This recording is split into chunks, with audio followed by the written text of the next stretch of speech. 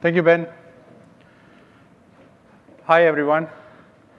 I, you are one of the few folks in the whole world who are so committed to OVS and OVN and DPDK that you are sacrificing a bright, sunny Friday afternoon to be here.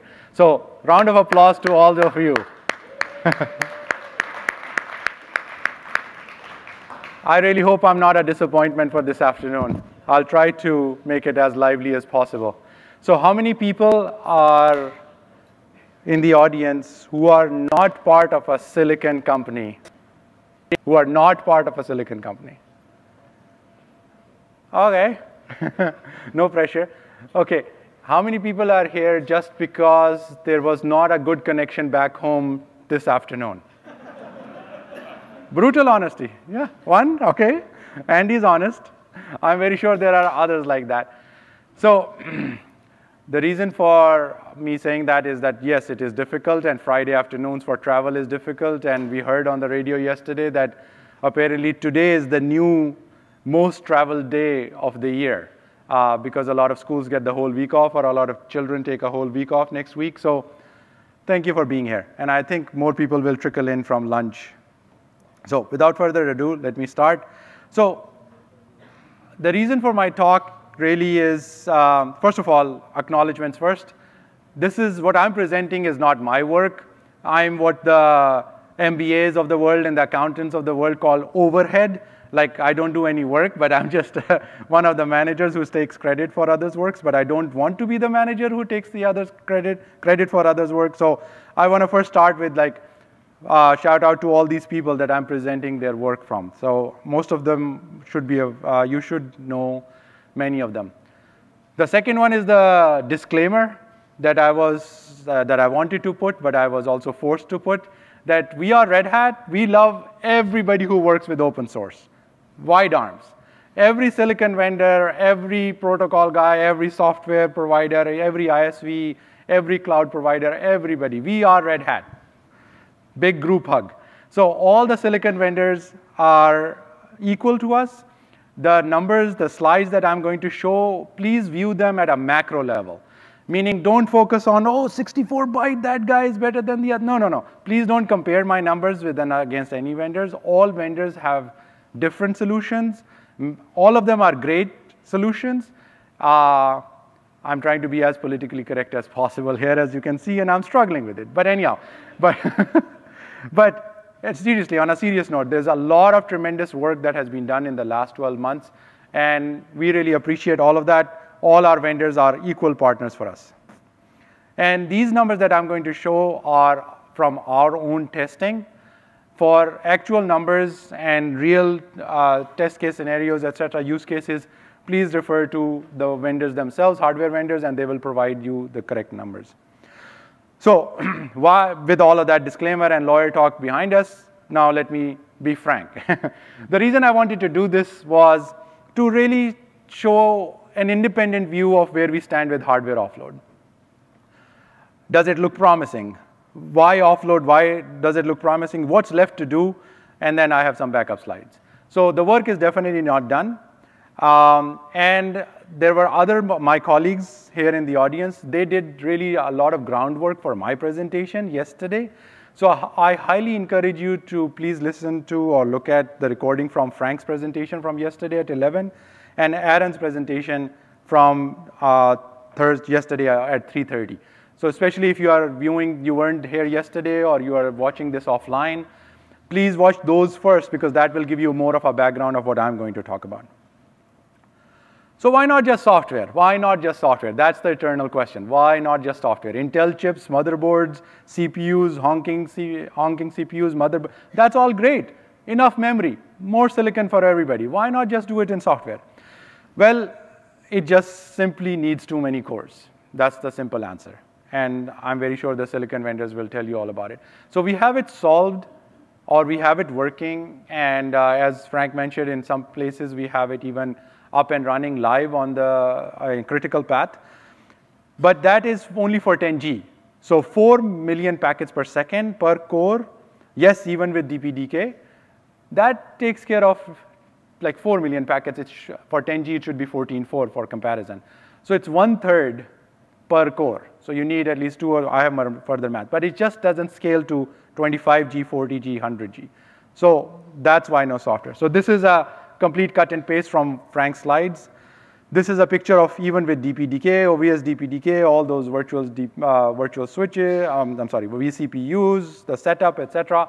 Again, please, if you want further explanation, look at Frank's slide. He has better understanding, I mean, better information about that. So coming back for a second. This 4 million packets per second is just packet forwarding. Like there's no extra effort on it. There's no extra sauce. This is just forwarding to a virtual machine and coming back. Now, there was last year or the year before, I forget, there was a lot of questions about, oh, OVS DPDK or OVS in general, we can't do zero packet loss. So all the telcos were poo-pooing it, saying, uh, there's no zero packet loss. I mean, there's so much loss in there and it can't be done on software. So we said, sure, we took on that challenge. We worked with a lot of smart people. And yes, we can do zero packet loss with OVS DPDK. This is the diagram. It's more information. It's an eye chart at the bottom. But as you can see, um, first of all, what does zero mean? Is the zero mean 20 packets per million, 5, 1, 0? But as you are do care about this, these numbers and zero packet loss for telcos and tele television transmissions and all of that, it starts to become very, very, very challenging. And it needs an expert level system tuning to get these numbers. It is possible. But if you look at like zero, really zero packet loss per million, zero per million, then you, you are already seeing 64 byte packets. The throughput is only 2.17 million packets per second. It is possible, but it's getting challenging. And if you add QoS or you add, I, of course, you add IPsec and it goes in kilobits, maybe not kilobits, but I'm exaggerating, but it goes way down. But any other action other than forwarding that you do, numbers go down. Ronnie talked about it, other people talk about it, they will talk about it, so it's all clear. But with software only, it is becoming challenging even for 10G. It's possible, but challenging. So what's the big deal? Just add more CPUs. What's the big deal? Intel's going to come out with another chip. ARM is, has 64 byte. Uh, Red Hat works on ARM 64 bit. No problem, just add more CPUs. Sure. Um, so if forwarding 10G of traffic, like full 10G termination takes four cores, and if storage takes another two cores, that's six out of 24. That's one fourth of a chip, one fourth of the core. Yeah. And that is wasted revenue for a cloud provider because they are not running the application. They are not running your the, the kiosk. They're not running the travel application on it. They're not giving it away because that core is being used for just terminating traffic, network traffic, and storage. So that's wasted revenue for the cloud providers because they charge, they charge per cycle per second. And we learned it the hard way because in one of our older releases, Network Manager, which was talked about earlier, that just used to remain on in the background, making sure that there are no DHCP requests, etc. And that was a non-starter for cloud guys because they said, oh, this runs in the background, but it chews cycles. So we made it more a la carte and more nimble that in server environment, it doesn't have to do that. But we found out that they are really literally charging per cycle per second. So let me start to get to the crux of the matter. That was the foundation. So as, as you know, as software matures, as protocols mature, as RFCs mature, the hardware vendors and the silicon guys start putting that stuff into silicon. So that is where we are at now. So for the last 100 years to the last 10 years, it was all hardware, you know. Imagine those ladies putting the switches, etc. That was all hardware. Cisco, Juniper, they made tons of money, truckloads of money selling custom hardware. I was in uh, Siemens, part of a 320 million euro project for 40,000 calls gateway, media gateway. So it was all hardware, custom hardware, custom software. Then came Nicira, VMware, others, Intel themselves, DPDK. Last 10 years, it's like all software. We can do it on software. We don't need custom hardware. That changed the whole dynamic, very disruptive technology. But now the pendulum is shifting towards somewhere in the middle. Very near future, some hardware, some software. That's what my belief is. Okay. So it's not all doom and gloom. There are many vendors. Like this whole day, I see talk after talk after talk about OVS offload solutions, Netronome, Mellanox, Cavium, Chelsio, Broadcom, and many others. If you are in the others category, please talk to me. We want to get you out of the others category into the main page. So please talk to us. Shameless plug. We want to work with you to get you out of the stealth mode and get you on this board so that we can say, yeah, it's integrated with Red Hat, et cetera, et cetera. So many hardware solutions, many hardware vendors have OVS uh, offload solutions, which is great. So big shout out to all the silicon providers, really big shout out, because it hardly ever happens. There's a lot of collaboration upstream uh, between them on the software side. I want to give credit to Ronnie, but maybe it's not his term, it's somebody else's term. But what they've been doing is saying, let's compete on the silicon and the boards and keep the software the same. And that is, uh, that's great. That, is, that needed a lot of collaboration, a lot of cooperation between vendors. And if you are like each other's rivals as severe competitor, it's very difficult to pick up the phone and say, hey, this is how I'm going to design the API. Do you want to come along? It's very difficult. I'm very sure it will be difficult for anybody, but it's a big shout out for all of these people, for every one of them um, to collaborate upstream and for working on the common API and getting the same solution. So thank you very much for doing that. And the red and the bottom line is it's all accepted upstream. So Red Hat works with anybody who works with upstream, be it the NetDev upstream or DPDK upstream, OVS upstream, which is part of NetDev now. But anyhow, up for open source for us means upstream, upstream, not just it's publicly available and you can download. All accepted. This is awesome. This is, this is tremendous. This is tremendous. Okay, so again, more background about the PVP test. So there's some blog, there's a very good blog written by Eelco, it's on the bottom right, and more testing about, I mean, more information about the PVP testing. Olga was asking me this morning, what, what's PVP? So PVP is our simple test. Frank had a better diagram yesterday. Again, please look at that. That has more information about it. This is a simpler diagram. PVP for us is physical to virtual to physical. So with the, most of the vendors that you saw, this is the test we run. We have made it public. We can share it with anybody. And we'd like all everybody's participation on that also. So this gives a simple-minded diagram. Traffic comes from uh, Xena, which is one of the traffic generators, or T-Rex goes into the card, control from there, simple. You guys are more experts on this than I am, so I'm not going to spend too much time on it. Before I flip to the next slide, again, request, please do not compare numbers with other vendors. That's not the purpose of my talk. My purpose of my talk is to show a lot of good work has been done, and these are just examples. Okay, with that said, Netronome. So as you can see, the, um, the bottom flat line at the bottom, which is the orange line, that is the software-only solution. So that is OVS DPDK running on X, XL710 Intel card. That is the bottom, that is the line with software-only solution. It takes a lot of cores, but that is the packet rate. And then the dotted line, that is the that is uh, uh, the dotted line, which is really tall dotted line, is the theoretical max for 40G. But Netronome's numbers with hardware offload, you can see the solid blue line. So their performance is almost theoretical or very close to theoretical for most of the numbers, and is definitely, definitely higher than the software-only solution. But that graph on the left, the big graph, is not the key graph. The key graph is on the top right, which shows the CPU consumption. So the killer graph on this slide is the OVS vSwitch CPU utilization. So with the Netronome blue, tiny blue graph, that all that red CPU is relieved. So that is all the impact, all the processing from the motherboard is taken on on the NIC, and the NIC is doing that processing. By the way, there's nothing wrong with Intel. Intel is a lovely company. We love Intel. and they, we want to enforce their business for selling more CPUs. That's awesome. But we would much rather they would sell the CPUs for other purposes, not for network, uh, network uh, forwarding, packet forwarding. So that is one example. The next example is Mellanox. Again, just an example. Please don't compare graph to graph. It doesn't make sense. But the bottom line is, look at how much CPU is relieved, how much motherboard CPU is relieved.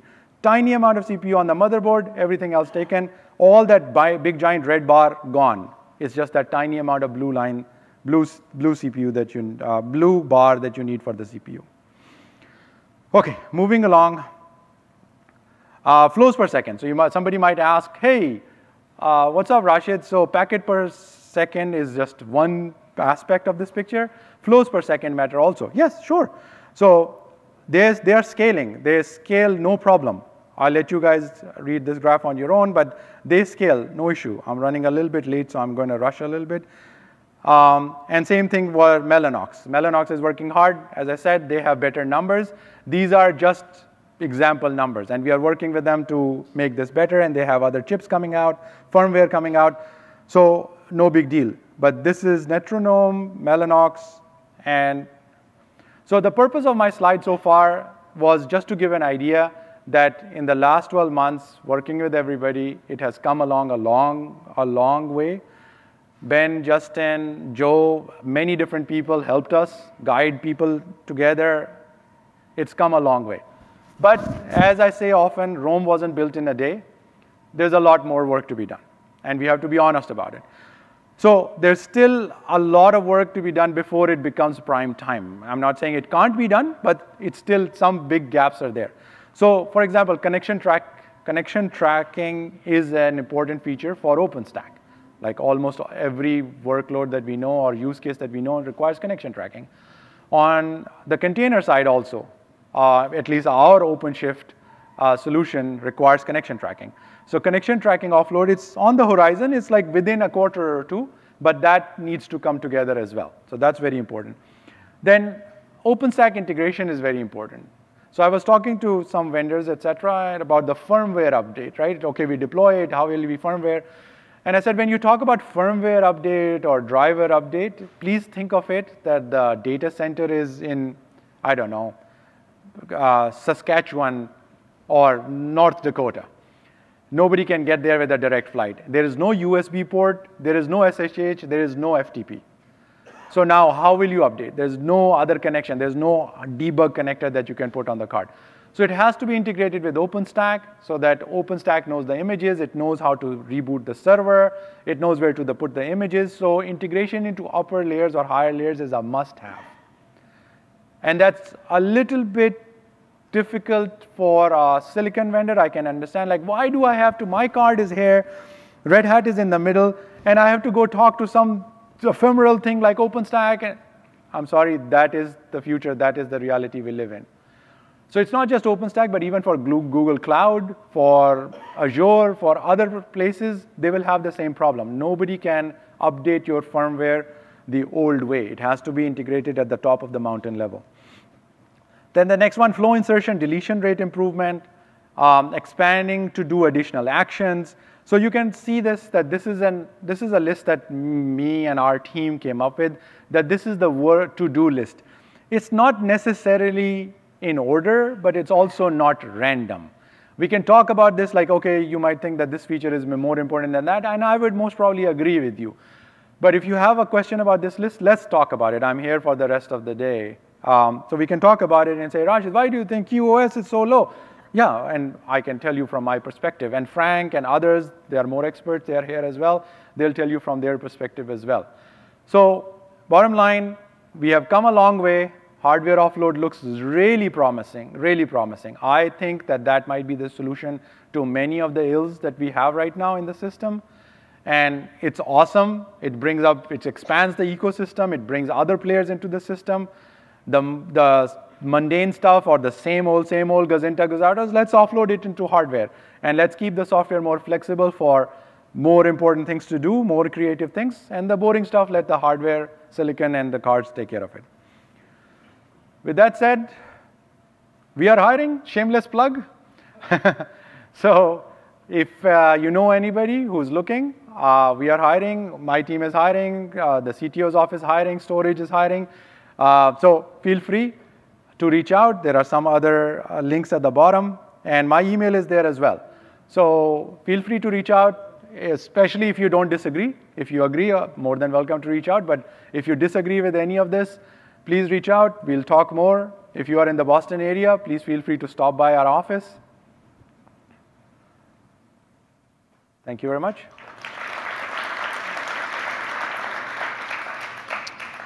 All right, uh, we have some time for questions. Uh, if you have a question, please come up to one of the mics. Uh, but before we take other people's questions, I, I have one.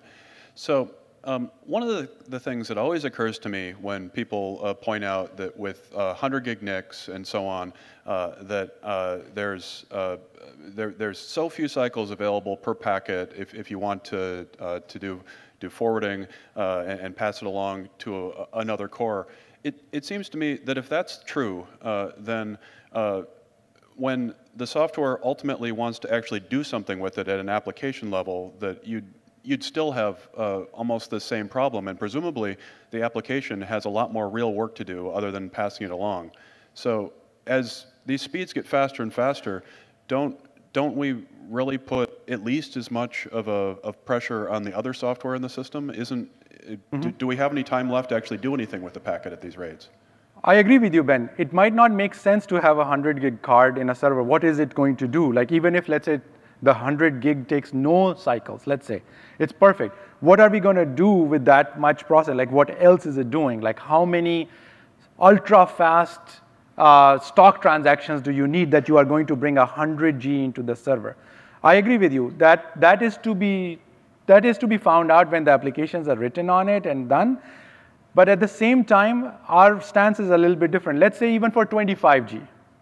If for 25G you're taking 16 cores just for getting packets into VMs, that's a lot of cores. So I agree with you. So I don't have a good answer, and I don't have a crystal ball. But I also know that it would make sense to relieve some pressure of the main CPU so that it can do the ultra-fast stock transactions or fast Fourier transforms. Okay, I can't disagree with that. Thank you. I'm glad that you don't dis disagree with it. Well, it might be a more fun discussion if I did. Yeah, yeah. Uh, do, do, do, we have a question over here? It's more like a, not a question, it's just answer to the question before. We do have customers that are running software and utilize our 100 gig NICs. So it's even not one NIC, even four NICs. So they have software running and, and um, a processing packet with 400 gig. Yes? Do you have a, can you tell us sort of what class of software that is? What kind of, what? vRouter. Okay, thank you.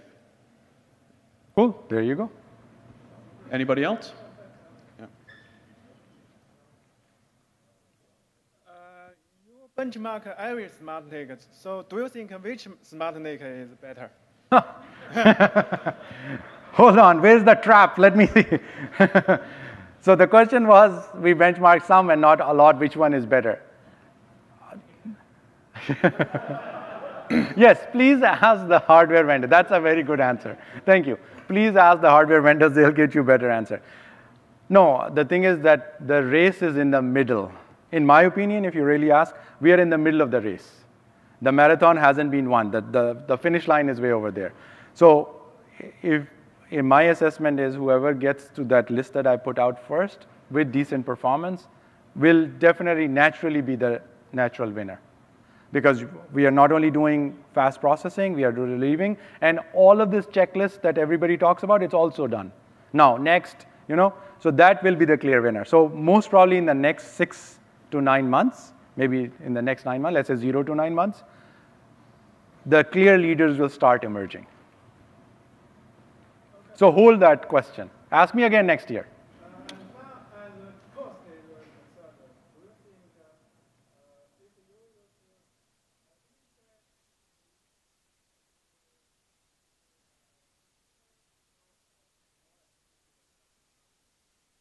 cheaper or more expensive than uh, in uh, dollars terms or some other cost? Cost of power? Co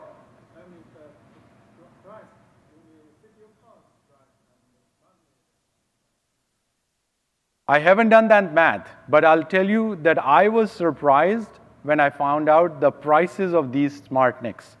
Pleasantly surprised. I assumed they are in like $10,000, $30,000 range. They are not.